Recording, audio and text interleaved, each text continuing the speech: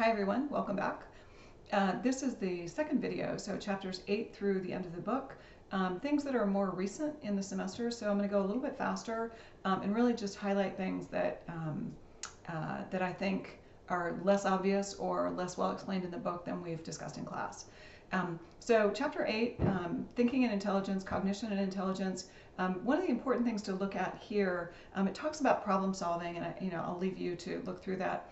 Um, the difference between an algorithm and a heuristic, an algorithm is a set of rules that you could go through one by one and you would arrive at a guaranteed solution. When you think of a math problem um, that has a solution, you go through it step by step and you can solve that math problem using an algorithm.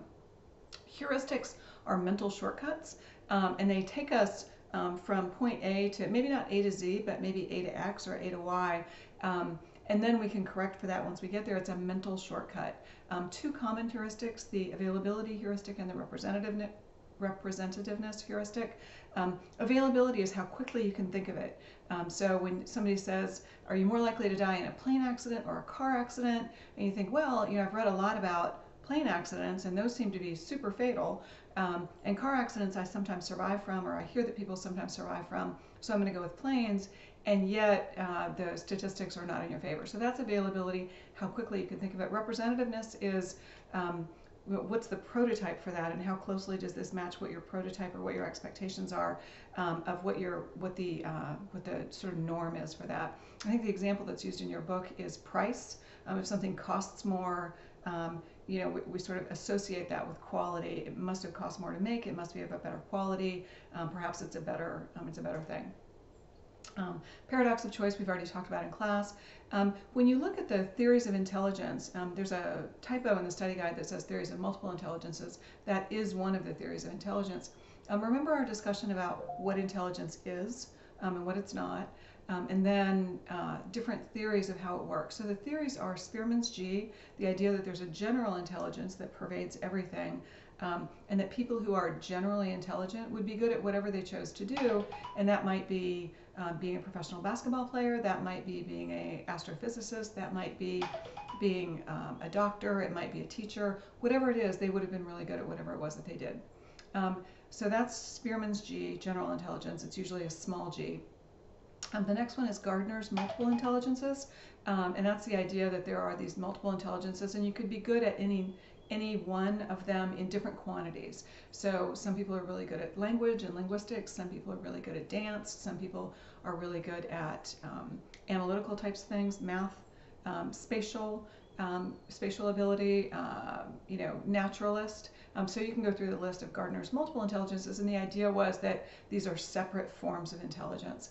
The third one is Sternberg's triarchic theory of intelligence, the idea that um, there's analytical or componential experiment uh, intelligence, which suggests that you're book smart, right? Somebody who does classically well in school um, would be high in analytical intelligence. High in creative intelligence is just what it sounds like somebody who can think in novel ways, think outside the box, come up with creative solutions, and create things.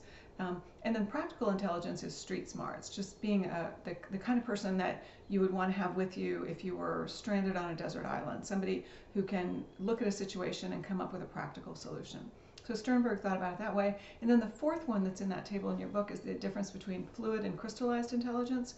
Fluid intelligence is your ability to quickly understand something, come up with novel solutions. Um, people who are high in fluid intelligence tend to be in their 20, 25, 30 range, and it declines somewhat, not dramatically, but it declines somewhat across the adult lifespan. Crystallized intelligence, when you think about crystals, forming crystals, those don't go away.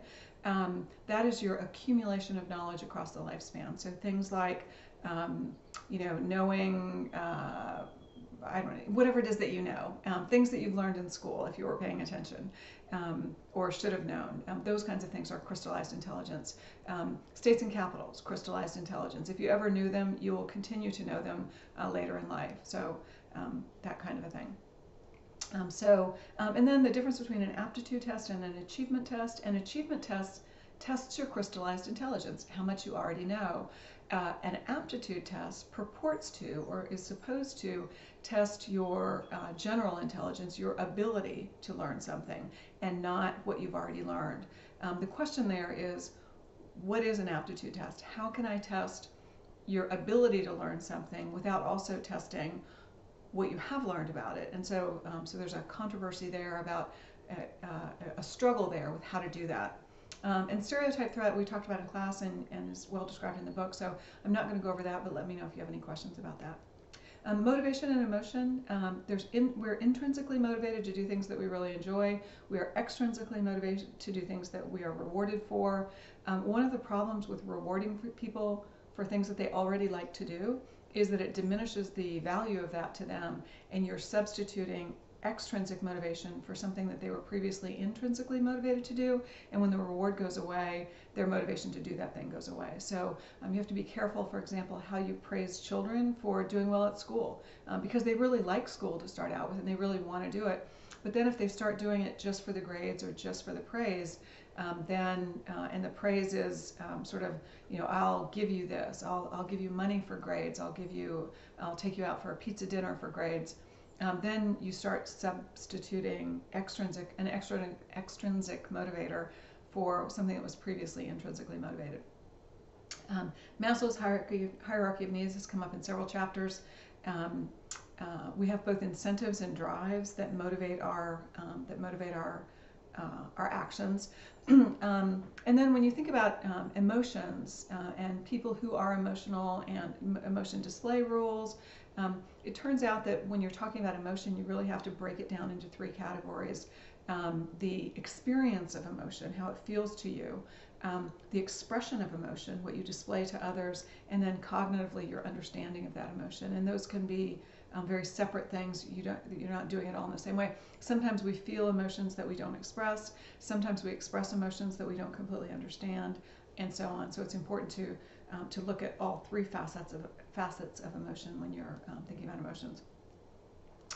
Um, chapter 10 gender and sexuality um, there's a lot of terminology associated with gender and sexuality so i'd like you to be familiar with um, some of those you know gender schema gender identity gender role um, and then um, just review the types of sexual orientation just the main types there are many more and you know this um, but um, homosexual heterosexual asexual and bisexual, um, there are many nuances among those and between those, um, but those are the four types that are discussed in your book. So I'm just going to keep our discussion to that. Um, and then the, both how biology and environment um, interact to influence uh, sexual orientation, because that's something that comes up a lot in the news. It comes up a lot in discussions. How did we arrive at the sexual orientation that we hold uh, as an individual, uh, and what influenced that? Chapter 11 on stress and health um, talks about the general adaptation syndrome and the idea that um, there's an optimal level of stress that really motivates you to do things, um, but then uh, and that you sort of that you you go headlong into that, and while you're in that phase, um, you can work really hard and you can achieve all kinds of things that you didn't think that you could, but then at some point it will exhaust your system, um, and so that's the general adaptation system. Um, cognitive appraisals. Um, trying to decide stress is not is in the mind of the beholder um, so what's stressful for me or what's stressful for you is not necessarily stressful for other people, and it depends on their cognitive appraisal of that. Um, is it a threat to me, and do I have some coping mechanisms for it? Um, and then if it is a stressful thing, am I going to use, and I have some coping strategy, am I going to use a problem-focused coping strategy and try to address the problem in some way? And that's a great strategy or that's a great approach if it's something that you can do something about. If it's something that you can't control, that you can't do anything about, then emotion focused coping can actually be the most adaptive um, stress coping strategy or uh, coping with stress strategy. Um, and that is making yourself feel bad about the thing um, or distracting yourself from the thing or doing something to reduce the stress um, because it's something that you can't do anything about. Um, upward and downward social comparison. Um, sometimes we compare ourselves to um, people who are better than us, and that makes us sort of feel bad sometimes, and that's upward social comparison.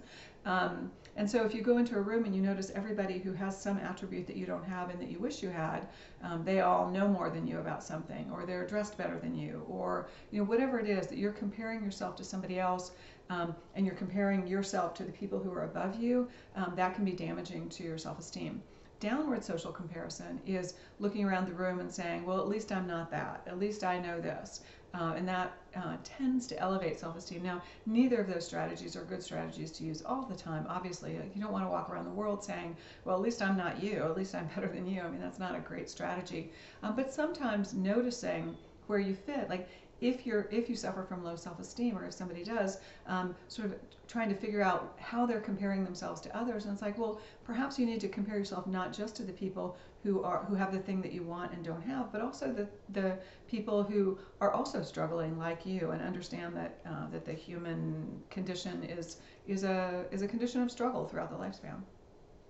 Um, um, and then Seligman's PERMA model um, is the idea that, and we talked about this in class, um, that positive psychology isn't just about being happy. It's not just about smiley faces, um, but it's about um, you know having positive emotions, um, have, being engaged in the things that you do, being rewarded for the things that you do, those kinds of things. So take a look at your notes for the PERMA model. If you've got more questions about that, let me know. But I think it's an interesting way and a, and a, uh, a informative way to think about positive psychology and the influence of positivity in our lives.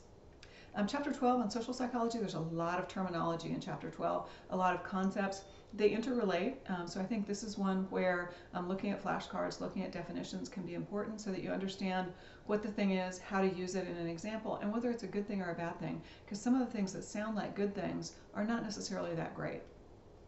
Um, uh, one of the important things in um, in social psychology, and social psychology is the is how individuals behave in the presence of a real or imagined group. Um, so it's how you behave in a group, or uh, if you feel like there's a group or you imagine a group, the group doesn't actually have to be there. Um, so uh, we have both personal and situational uh, influences on our um, on our behavior, and so that that can be important. The fundamental attribution error is the idea that um, we make attributions about people all the time, um, but we tend to uh, ascribe uh, personality variables to other people and situational variables to ourselves. Um, and so, and we fail to notice how the situation also influences us um, and them, and how personality influences us and them. So, um, the actor observer bias is that we treat ourselves, we know ourselves better. And so, when you say what it, what is more influential, um, to you that you know what how you know what your beliefs are or the situation and we say well uh, it depends on the situation. Uh, and for other people we say well they're a jerk and and we don't say well what was the situation that they were in when they were behaving in that way. Um, the self-fulfilling prophecy um, expectation effects the idea that um, sometimes when we expect something to happen um, in small ways we elicit that behavior or elicit that response um, and it tends to be a self-fulfilling prophecy. We also tend to, we have a confirmation bias. We notice the things that uh, confirm our, our expectations, and we fail to notice as many things that disconfirm our, our uh, expectations. Um, stereotypes, um, a stereotype isn't on its face a bad thing. Uh, a stereotype is a heuristic, it's a mental shortcut um, that gives you some information about a situation, about a person. Um, it becomes discriminatory um, and prejudicial if you fail to correct for the actual person and the actual situation. So the stereotype itself isn't the bad thing, it's what you do with that information. If you're going to use a heuristic or a mental shortcut to say, this person just walked into the room and they appear to be um, a teenager and they're dressed in a particular way, I think they belong to this kind of a social group. Um, if you then talk to the person and correct for your um, assumptions, then that's all right. You know, it, it got you part of the way there, and then you uh, and then you made your own decisions. But if you stop there and just say, here's what I think I know about you and here's how I'm going to treat you, that's when you get um, discrimination and prejudice. Um, in group and out group bias, we did this in class, um, the idea of minimal groups, um, that all you have to do is tell people that, um, that uh, you know, this group is you know, wearing this kind of clothes and you're wearing these kinds of clothes. Why did they do that? And all of a sudden it becomes an us and them um, kind of a thing. And sometimes it devolves into criticism it's like, well, you know, they must not know as much as we do um, because we're, you know, we're the ones that made the right choice. And had they known as much as us, they'd have made a choice like us too. Um, the jigsaw classroom um, is the idea that, you know, one way that you can um, increase fairness and increase um, uh, in good uh, working together, good um, team spirit, um, is to make everybody an expert in something, um, and then let all of those experts go off and uh, learn more about their subject matter, and then bring it back to the group. So if everybody in your group is a subject matter expert on some different aspect of the group project, you all need each other and you work together better. Um, and so that fosters um, that sense of community uh, and fosters learning in the classroom. So um, the idea is to uh, is to get people working together with diverse groups so that they don't uh, get stuck in their own group. Um, attitudes affect behavior and behavior affects attitudes. Um, you think that because you hold an attitude, you behave in a particular way, and you probably do. But it's also the case that if we can get you to change your behavior, and this is based on on research, if we can get people to change their behavior and then we ask them later what their attitude is, it turns out that they report an attitude that's in line with that behavior because otherwise they'll experience cognitive dissonance. It's like, I believe this, but I did that. How do I make that, you know, how do I resolve that? Um, and so, you know, one way to resolve that is I look at my behavior and it's like I get information from that. It's like, oh, I've been recycling. I must care about the earth. And really, you know, perhaps you weren't recycling until somebody gave you a recycling container and told you that you had to. Um, the mere exposure effect, um, the idea that just being around people uh, makes us like them better. Um, and so the familiarity with the people in your class uh, means that when you're in a class uh, with them next semester um, that you'll like them just a little bit better than all of the other people in your class, um, even though you don't really know them particularly well or might not know them particularly well, but that um, just being exposed to them, just being around them um, makes you like them better. Um, cognitive dissonance, um, a term for uh, holding two things that, you know, believing that you're a good person and then acting in a way that, that would say that you're not a good person, and you have to, in some way, resolve that. And so, cognitive dissonance is that feeling of two things that aren't compatible, and cognitively, using our thinking, we have to bring them in line um, in some way. Um, uh, justification of effort and insufficient, insufficient justification. Um, if we pay you to do something, um, then you know then you might be willing to do it again. Um, if we pay you a lot um, versus when we pay you a little, um, that can have different impact on how you feel about the thing and your willingness to do it again. So if we only pay you a little, then you're saying, well, I must actually believe in this thing because I was willing to do it for a dollar, and a dollar is nothing. If we pay you thirty dollars, however, um, you'll say, well, I just did it for the money. I didn't really believe it, and so um, sometimes, again, you have to be careful about how you reward people and understand the impact that that's going to have, and it's not always intuitive. So, if you're ever in a position, um, if you work in HR, if you manage other people, if you're trying to decide how to reward people, remember the research on intrinsic and extrinsic motivation from the motivation chapter, and then also remember um, that there's a lot of research in social psychology about the influence of rewards on people, how to persuade people to do things, and how to motivate them to do things. Um, and so you can go back to your social psychology at that point and, and review it, just you know knowing that it's out there. Um, social facilitation and social loafing. Um, social facilitation is when being a group in a group actually improves you. So when peer pressure sometimes improves your um, your performance. Um, so social that idea of facilitation, um, peer pressure isn't always a bad thing. Sometimes it's a good thing. Um, social loafing is when you've got five or six people in a group and each person's individual contribution isn't as obvious, and so um, they tend to loaf and just sort of sit back and let other people do the work. Where if you're working in a group with just two students, you and another student, it's hard to loaf because it will be patently obvious. Um, group polarization and groupthink. Um, when you get into groups and people are trying to resolve an issue and there are two sides, um, people at the beginning might gravitate more towards the middle, but towards the end of the discussion, um, tend to polarize um, and go more in the direction of one or the other. Um, groupthink is the idea that sometimes you go along with the group because you don't want to disrupt things, because you value the cohesiveness of the group over the decision. Um, and groupthink sounds like a good thing, but it can be a very bad thing. So having somebody in your group or being that person in your group that will speak up and say, no, I don't think this is the right thing to do. No, I think we're making the wrong decision even though the people in the group might not want to hear it, even though it might make the meeting go longer, is an important thing to do. So fighting groupthink is a really important thing in groups. And if you're the leader of a group, um, I hope that you will you know, use this to say we need to value the people who are sort of thorny. We need to value the people who will speak up and, and say no um, if we're going in the wrong direction because it doesn't benefit anyone if we go in the wrong direction. Um, and in some cases, uh, using the examples in the book, it, you can make decisions that, um, that have long term impacts that are negative. Um, Sternberg's triangular theory of love. Um, I'm not going to go through this in depth. Um, if you look at my video channel in YouTube, there's a like I think a nine minute, seven or nine minute video on just that one. But um, we drew it as three interlocking circles, um, and the components of love were uh, passion, intimacy, and commitment. And then we um, identified eight different types of love. One of those being non-love.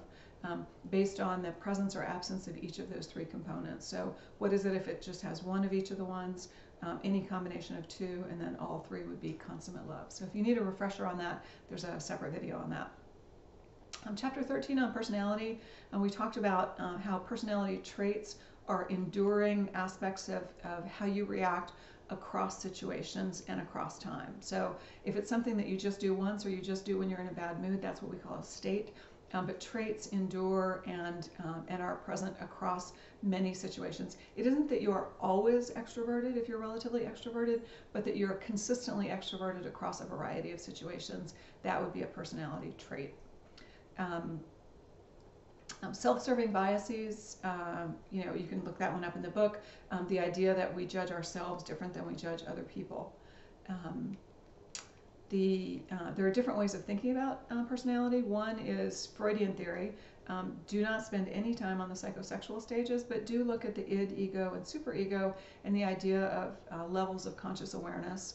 Um, also, defense mechanisms. You know, the fact that we're defending our ego, defending our reality, trying to explain our own behavior or deal with things um, in order to feel better about ourselves. Um, and so, defense mechanisms that we commonly use are things like repressing things that we find upsetting to us or denying things that we don't want to think about or uh, and, and you know just using denial to say that didn't happen. Um, you know uh, you know projection projecting it onto somebody else. It's not that i hate you it's you that you hate me.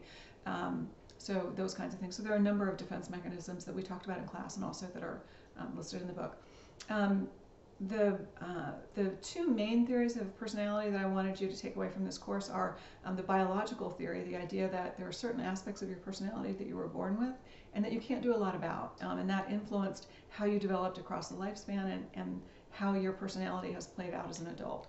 Um, personality is relatively stable in adulthood. It doesn't mean that you can't change things, um, but unless you actually try to change something or you're in a situation that's traumatic, um, you are unlikely to change uh, your personality in important ways. You know, it, it continues to develop, um, but you tend to stay in the same vein. So if you were more extroverted than other people before, um, you remain more extroverted than your peers um, across um, across time. Um, so that's the biological theory. The um, the trait theory is the is based on Costa and McCrae's research on the Big Five and the acronym we use that for that is OCEAN, um, but it's openness to experience, conscientiousness, agreeableness, neuroticism, which is another word for anxiety, um, and um, extroversion. Um, so take a look at those, um, look at what the components are, and make sure that you understand um, how it relates to you. You know, when you go back to memory, elaborative elaborative rehearsal, if you can make examples of these things with respect to your own personality, you'll remember them better. Um, and then um, different ways that we um, assess personality. We talked in class about projective tests like the thematic apperception test or the Rorschach ink blot test. Um, so that's where you're projecting, you're, you're making a story about something and that tells us something about how you think and who you are versus um, asking you for a self-report, how, you know, how do you behave in certain situations um, or asking someone to observe you, either somebody who knows you well or an experimenter could watch you in a variety of situations. So uh, for personality, you're the best uh, judge of you. You've got the most information about you. So a lot of personality assessments are based on self-report. Not all of them, but a lot of them are. Um, because you're the one that has the most information and it's hard for us to see how you feel um, even if you act in an introverted way or an extroverted way or even if you act in an agreeable way or a less agreeable way we don't necessarily know across as many situations as the information that you have about yourself. Okay, the last two chapters um, on disorders and their treatments, I'd like to keep that at a relatively high level. Um, I think it's important for you to know the classes or the different types of um, of disorders. Um, the idea that something is diagnosed as a disorder or considered a disorder um, if it meets the criteria of being deviant from the norm, of being distressful to the person or should be distressful to the person if they you know were aware of, of the impact that it has. Um, and then also dysfunctional, that it impedes your ability to you know conduct daily life in some way.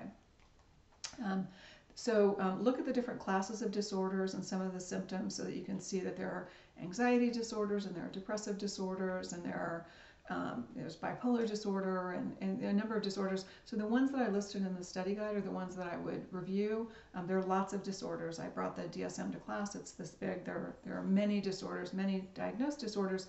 I'm not going to hold you responsible for all of them. If you're interested in disorders, I would encourage you to take um, Psych 281 at Wake Tech or a class you know further on in your academic career in um, abnormal psychology where you can um, do a deeper dive and get more information about these disorders and how they're treated.